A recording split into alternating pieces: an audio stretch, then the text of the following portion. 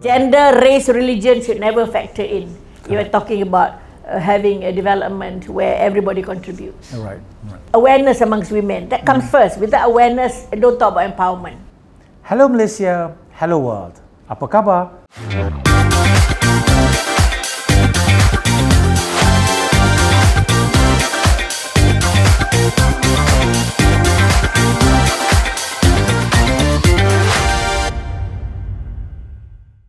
Welcome to our new look and feel of ECM Talk for 2021 with today's topic Women Empowerment How Far Are We? I'm Rajesh Shahrul, your host. Empowering girls and women are powerful. Today, we know it is the key to economic growth, political stability, and social transformation. World leaders, experts, and scholars alike are giving their voice to this critical endeavor. A quote from Barack Obama, the 44th President of America When women succeed, nations are more safe, secure, and prosperous. A quote from Kofi Annan, the 7th Secretary General of the United Nations There's no tool for development more effective than the empowerment of women. From Amartya Sen, Nobel Prize laureate in economics, she said, empowering women is key to building a future we want. Astonishingly, the exact opposite is true on the ground. Rather than uplifting and empowering girls and women as the most powerful force for transformation and progress, horrific violence against them every minute, every hour, every day. Every minute, two girls and women are raped in South Africa. Every hour, almost 50 girls and women are raped as a weapon of war in Congo. Every day, more than three women are killed by their male partner in the United States. In fact, more than 100 million girl babies have been killed, aborted, and neglected to die simply because they are girls. ECM Talk is truly honored and privileged to have on this program Yang Berbahagia Tan Sri Rafida Aziz, the former Minister of International Trade and Industry Malaysia, to share and tell us more about the topic today. Selamat datang to ECM Talk, Tan Sri. Baik, Alhamdulillah. Thank you, Tan Sri. Thank you for being here. I know this is not your first time to the to the campus. It is an honor to have you here again. Tan Sri, uh, the term women empowerment has always been a buzzword among government initiatives, NGO programs, media, students, and activists. The question which lies ahead is how empowered are women in Malaysia?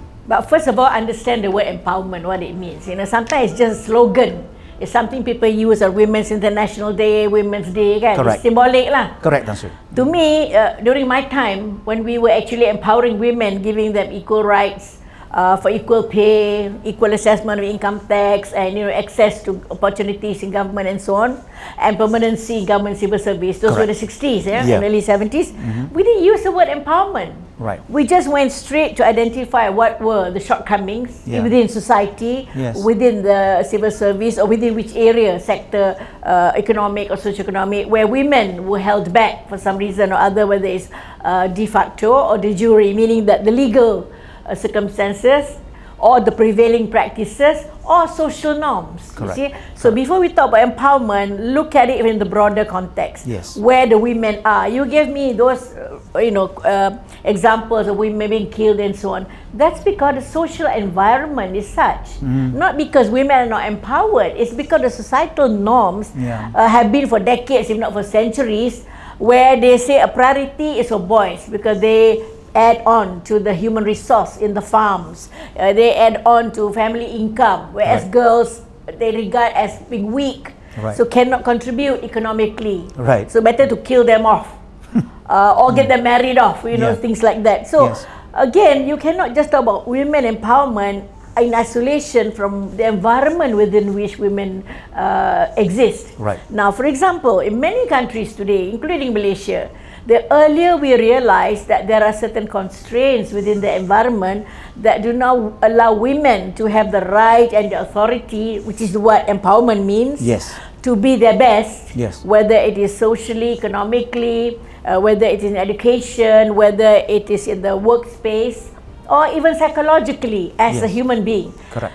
if the environment does not allow them to bloom or to grow to the best that they can, it will be forever the same scenario. They will always be uh, overrun, so to speak, Right. by men who think they are macho. Yeah. Or by social norms that's always been suppressing women. Yes. Yeah. So these two must come together. The Right. empowerment of the women themselves, meaning that creating awareness amongst them that you have that ability to be the best, Right. not just to be dumped one side or treated as a non-entity in society or second or third class citizen. Yeah. Correct. So awareness amongst women that comes first. Without awareness, don't talk about empowerment. Right. And secondly, on uh, in parallel, awareness of society that Mm. women are equal to, if not better, Mm. than anybody else if they are given that right, that authority to be the best they can. Now, Mm. I'll give you an example for it. Uh, women in Malaysia are so lucky because we were aware of what was lacking for women very early on in the 60s, the women Right. leaders of those days. Right. And I was very young then, I was included. As the, so we asked the government to change the law, to change the way that things were done in government so that Mm. at least in the civil service, working women get their rights, equal Mm. pay, equal responsibilities. So then we go on to the social sphere Mm. to make sure that there is nothing that suppresses women like it happens in most countries, right? Correct. Yeah. Uh, then secondly, the women must continue to be aware of their rights and their responsibilities to have. You know, there's no point having a right. Say, I demand. Cannot. Yeah. Because it comes to responsibility. It doesn't mean that if you are a, a, a CEO somewhere that you abandon your family. You know, you get maids to, to look after your children. Mm. That is abandonment of responsibility. Yes. So again, the question of being a good mother, a good wife, and also a good member of society wherever you are, a mm. CEO, business person, or whatever. Yes. So this what boils down to awareness. Now in Malaysia, fortunately, mm. we are seeing more and more women Right. uh, that can marry these two. I hate to use the word balance because people don't ask about men. you know, you think that men who are rising up there, you know, right at the pinnacle of their career are responsible men, responsible father, responsible father, uh, husbands. Aha, think again, right?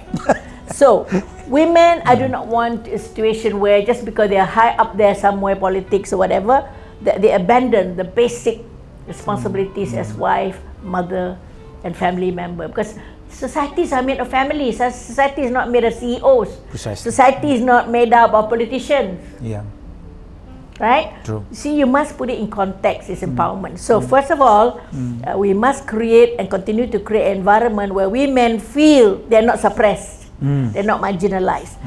Secondly, we must put in the structures uh, and the kind of environment that allows women to enhance their capabilities, enhance their knowledge, learn anew, learn afresh. Uh, women who've never known what IT is, allow them uh, within uh, community groups, for example, to know what a computer is. Yeah. You know, at least to do WhatsApp. True. Ada handphone pun tak guna if you don't Tak no tahu. no you don't maximize it you yeah. know and not just to do WhatsApp download Yeah. information Yes. not necessarily in English so many Malay no? ada Yes. so in other words create environment for women especially younger ones right up to the old ones to realize that within this society there is that potential for them to enhance their capabilities because empowerment must come with responsibility must comes with the ability to use that empowerment or use that power so to speak Yeah. as uh, you know knowledgeable people. Yes. uh, better you know. But power doesn't always lead to better. Some people you know power leads to all kinds of negativities right? But we Yes. want this empowerment in terms of thought process Correct. in terms of ability to do good for the country. Uh, uh, unfortunately in our country we go the way of some european countries or western countries 30% quota uh, i hate that Yeah. uh, you do not count or you do not measure women empowerment by how many percent they are here and there everywhere. No, Correct. we are not quota fillers. We are not like pillows, you know, you just stuck a kabu and cotton, you know, that's it. no, no, no, no, no. I hate that. Yes. So let's stop talking about percentages. Let's talk about the best women anywhere. Yes. And the best women will be first of all the best best person. Correct. Then she can fit in as a mother, as a wife, as a CEO Correct. no shortcomings anyway. Right. And if it's the, the best women number more than 50%, so be it. So be it. Yeah. The organization benefit, the country benefit. Why restrict to 30? But some women, they don't think very far. Oh yeah, we must achieve 30%. Why? What's the magic number 30? Which man actually, uh, you know, come Yeah. up with the magic figure 30? I would say get the best. More than half, so what? Yeah. Why look at the gender? Look at the competence and capabilities. Capabilities, you yeah. see that Yeah. that is something that I would like to. Well, for, that's a long start lah to, to emphasize because otherwise uh, the rest of it is uh, of no consequence if you talk empowerment and 30% quota. Yeah. But as far as in Malaysia, Tan Sri, as you were saying, that change is now seen. Yes. Yeah, yeah, yes. We are moving away from Correct, that, and, yes. and we are beginning to accept Yeah. the the women uh, into the workforce and and Oh, oh everywhere no, else. no, I yes. don't say we begin to accept. We've been accepting all this while, Yeah. except that they were at the lower ranks. Yeah, of the Mm, workforce. As I've told you, uh, for ma- for decades, as long as there was a civil service, They- the yeah. women were only temporary. Can you imagine? Yeah. You graduate together with the with the man, With the man, on yeah. the same day. You get your degree. Mm. You get absorbed to the civil service as a permanent status person. Mm. I get into the civil service on the same day as a temporary worker without all the benefits. How can? So we fought for it. Mm. Yeah. I was one of them in the in the 60s, Yes, yeah? yes. And alhamdulillah we got now equal pay for women. There's no such thing as you men get less pay. Mm. You know, same degree, same everything. So we have to change this mindset. Correct, And so that people change the rules as we go along. Correct. Tan Sri, uh, perhaps you can share with us your most empowering moment during your years of experience. Oh no no, I, I don't believe in empowering moments. You know, like what is your sweetest memory? I'm I'll be 78 this year. Surely, the moments are countless, right? But it's good to know that as I live in life, yeah, as I go on in life, uh, there is a process whereby more and more people. Uh, Amongst the women, especially, and the men, you cannot empower women with the men you know, being uh, open-minded. Right, You right. have uh, all these maso- masochistic, maso, just women or whatever you want to call them lah. You know, for me, I just call them. You know what? Uh, never Yes, mind. yes, yes, but uh, I'm just saying that if, if men continue to think they are superior Mm. to women, you will never get by. But Malaysian men, by and large, I say by and large because there will be some of this, yeah, Mm. Uh, do accept women. But we mustn't e- be egoistic. I mean, we mustn't make demands. Mm. Nobody likes for a woman to say, "I demand my right." Correct. Yeah, but if you're not capable, Exactly. you're not fit to sit on the board for the sake of God, just Yeah. because your gender, Yeah. uh, Yeah. you're not fit to be promoted. Why you demand? There are other women who can be. You see, uh, that's my point because Yeah. uh, you have to add value wherever you are. Mm. Uh, even as a wife, as a mother, you must add value. Correct? Maknanya in bringing up your children, in creating a home environment for your husband, so that he can be productive at work Yes. tak yes. risau tak apa kan Correct. so uh, we we must understand that as time goes on young women of today they understand that they can go as far as they can but i have to keep reminding them please make sure that you are also empowered as a wife as a mother as a family member so that your life as a whole uh, is more uh, apa namanya orderly Yes. I, I don't want to have a woman uh, highest level in her career, CEO, blah blah blah. But at home, it's all in shambles. Yeah. Children are not doing well in school. You know, husband not get attended you know, because I am the CEO. You're not CEO at home. Right. No, no, seriously. Yeah. We're dealing with humans, you know, we're not dealing with robots. Yeah. If you have this arrogant attitude, I am the CEO at home, Yeah. uh, what happens to the children? Right. Right. Yeah, right. even if you're a CEO in your office, it doesn't mean that you're the boss. Mm. You're just head of a team. Yes. Yes. People yes. don't have to look up to you. Yes. You are actually on par. It's just that any organization will have to have a lead, like a boat, like a ship. You must have a captain, right? Mm. Correct. Otherwise, the ship will go astray. So Yes. don't think too highly of yourself, even if you're the boss. Yes. Yes. You're yes. just a boss of a team. Right. So you have to raise the dignity of the team. Mm. You have to raise as a woman leader, uh, raise uh, the status of women all over, and the Exactly. men too who serve with you, so that people don't look at you as a woman. Correct. Uh, I would like to banish that, you know. Right. Never look at me as a woman. My gender is immaterial. Mm. What's material is my added value. Uh, that should be the case. That's how I measure myself. Right. If I don't add value, don't take me. Right. Right. Malu saya.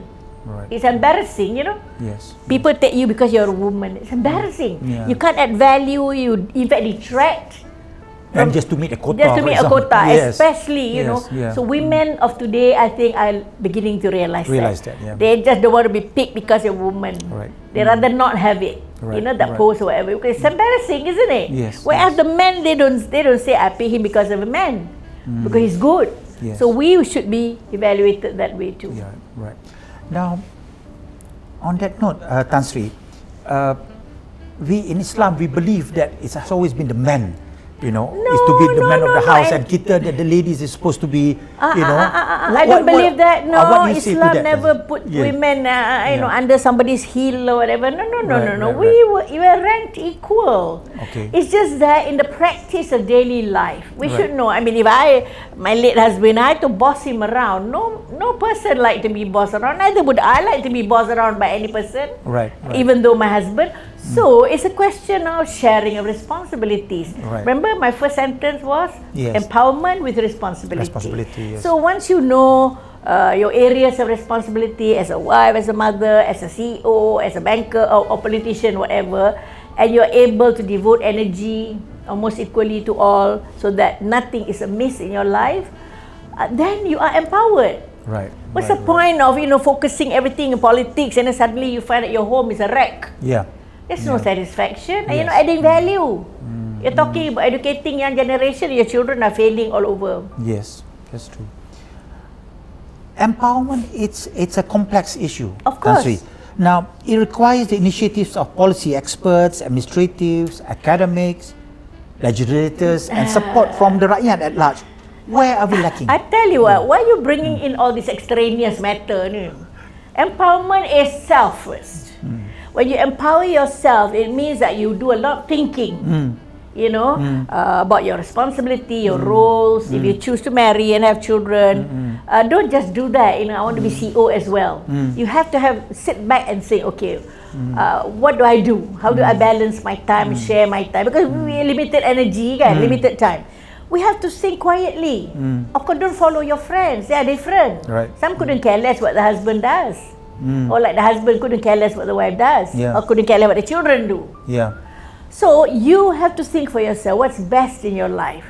Certainly the best thing is a good measure of everything. Yes. So that nobody feels deprived as a result of you wanting your ambition, you know. Right. I want to fill in this quota 30%. That's the most uh, rubbishy thing I can Right. think of. So but anyway, you have to reflect. Every woman will have to reflect, like every man too. Correct. Reflect. Uh, if you have three roles to assume, not to play, eh, to assume, a wife, uh, a mother, uh, and uh, a family member, and outside life, then you have to re- reflect quietly. Where we, because you're young at that time, you're married about twenty something, right? Yes. reflect where will you go from here how much can you sacrifice a bit of this a bit of that there will be sacrifices Right. for as long as the sacrifices are not negative you know what i mean it is within the limits of tolerance which means that the children won't be unhappy if you don't attend uh, out of 10 functions in a year don't attend two Right. right? They don't mind because they know uh, mother is occupied doing something.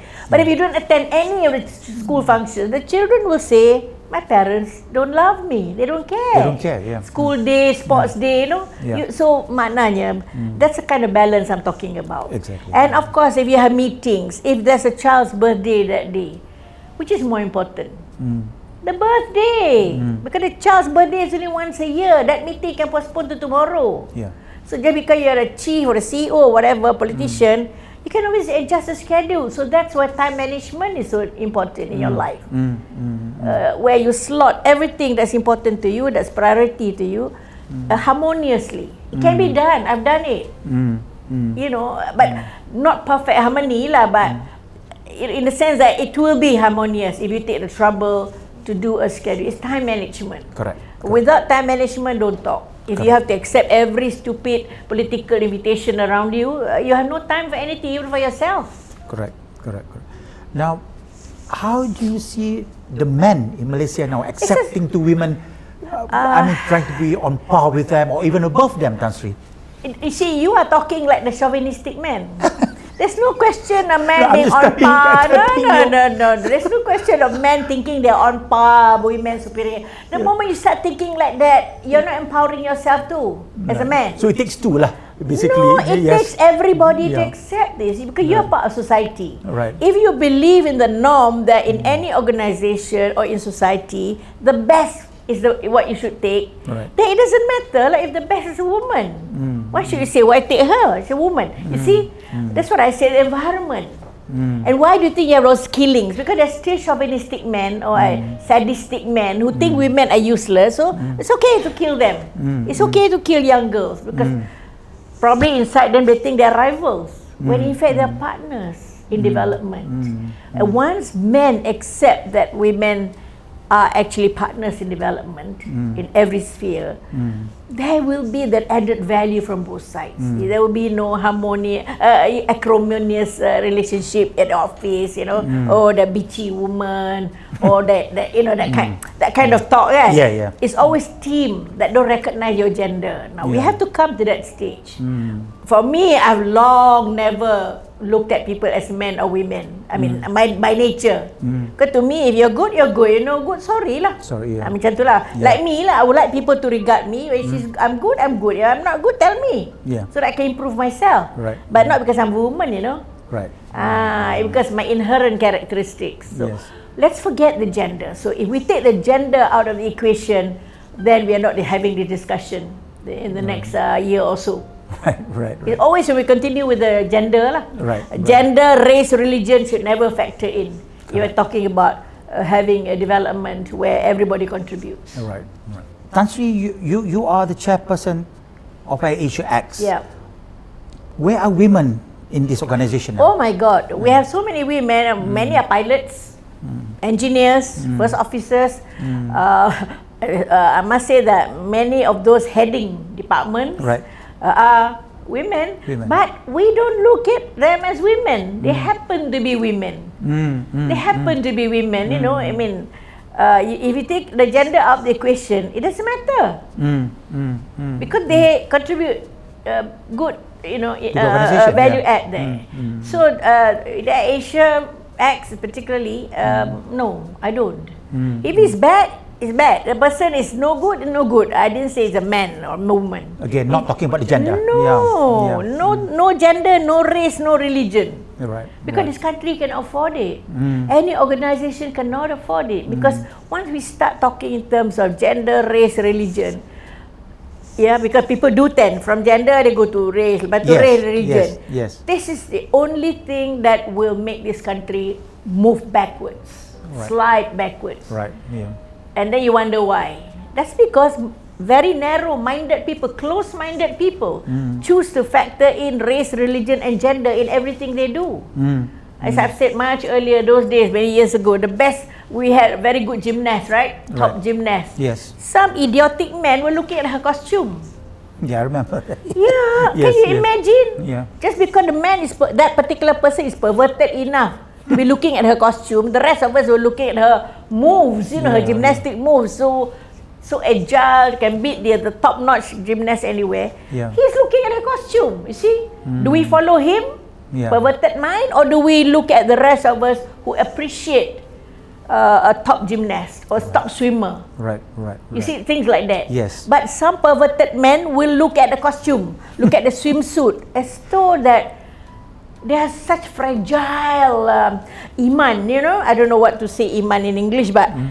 meaning that even the hair of the woman enough to rile them up. You know, to make them go into a big huff. Why? Yes. Yes. Yes. Please empower yourselves, men. These men empower yourself, meaning that see things objectively Correct. and in the positive sense. Yes. Yes. Tan Sri, uh, what next for Malaysia with women empowerment? No, there is no much. What next? You know, this is a. You feel that we have achieved no, that? no, no, no, no. You cannot say that because we hmm. are moving from one generation to another. To the other, yeah. What we'd like to see is that what people of my generation have created mm-hmm. as uh, fundamentals. Yeah. in terms of environment to give the young ones that opportunity to empower themselves, to, mm. to become more educated, to get the Mm. right skills. Mm. Uh, and to be able to have the right knowledge, Mm. you must remember the world outside is changing very rapidly. Right. So what was the environment before is no longer the same. Right. Part of it may be the same, tapi the bigger environment has changed because IT is the main driver of growth. Yeah. a Yeah. whole spectrum of ICT, for example. And today, uh, you have so many things like digitization Yes. that is never thought of during my time. Yes. So what we like to see is that while we have planted that uh, impetus amongst the young girls of today to want to be the best, we would make, want to make sure that the environment, uh, for example, access to the right kind of education, access to the right kind of skills, access to the right kind of uh, channels for uh, empowering, as I say ICT, Yes. continue to be made available. Yes. And this can only be done in the schools, in the workplace, Yes. and even to some extent in the home. Yes. So for as long as that supporting uh, environment is there, uh, I have no worry. Yeah. Because uh, that meaning that there is no obstacle put in the in the uh, in front of them. Hmm. But my worry is whether the women are ready. Mm. Uh, whether ICT means WhatsApp, TikTok, or you know whatever lah. Yeah. Uh, social media. Yeah. Whereas to me, I am hardly on social media. I'm not very sociable, except for my ex friends, and that too we don't chat. You know. Right.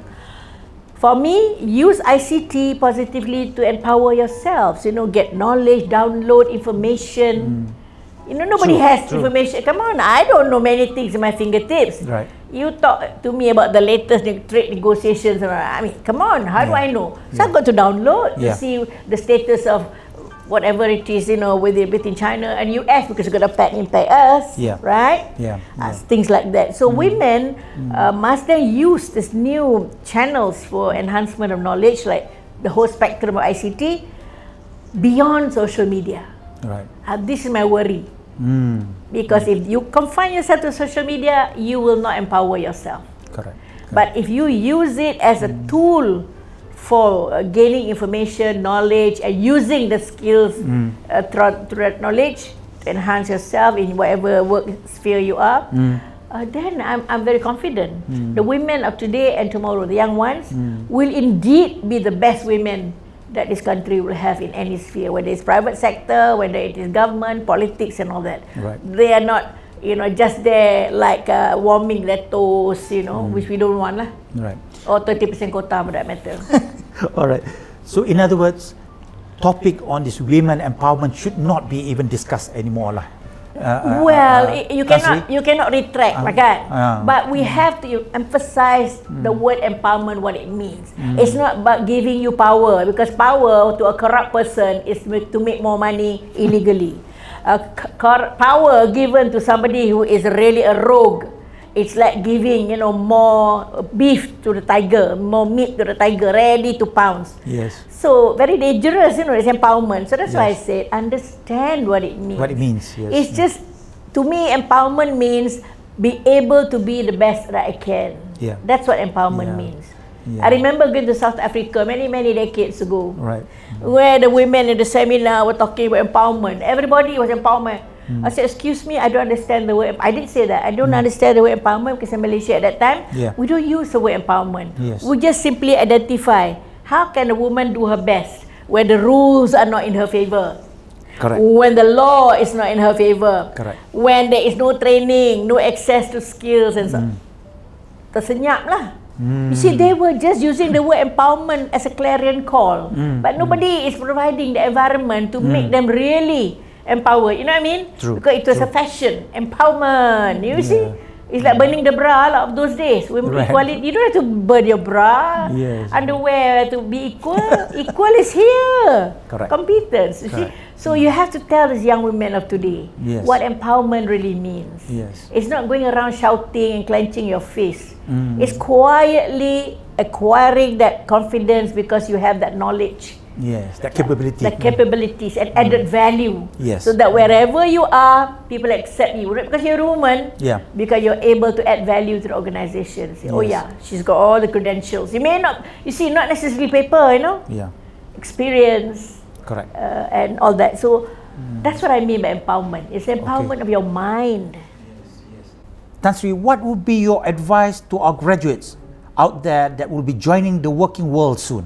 Should they still be intimidated or with this workplace discrimination or gender bias issues? Uh, I don't think there should be any discrimination now. Alright. People are beginning to realize that they pick the best. Eh?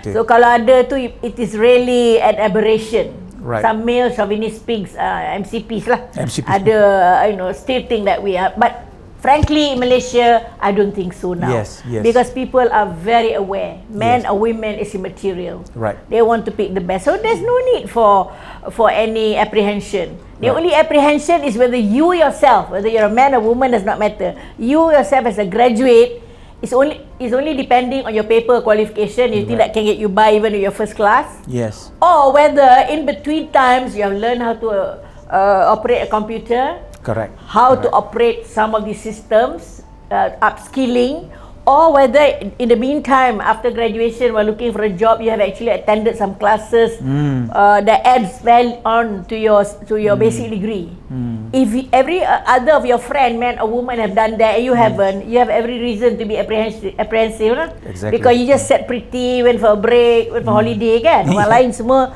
uh, learn anew. Yeah. Yeah. Even at my age, so many things to learn. My goodness, gracious me. Yes. Yes. Because yes. I'm lecturing to students, you know, now Mm, still. So, meaning that learning is a lifelong process. Yes. So, for all those graduates, don't think that having got this nice paper degree that shows first class, second upper what, that's your passport. No. No, Your no. character, your personality, Precisely. your general knowledge Yeah. beyond that limited course Mm. that you have attended.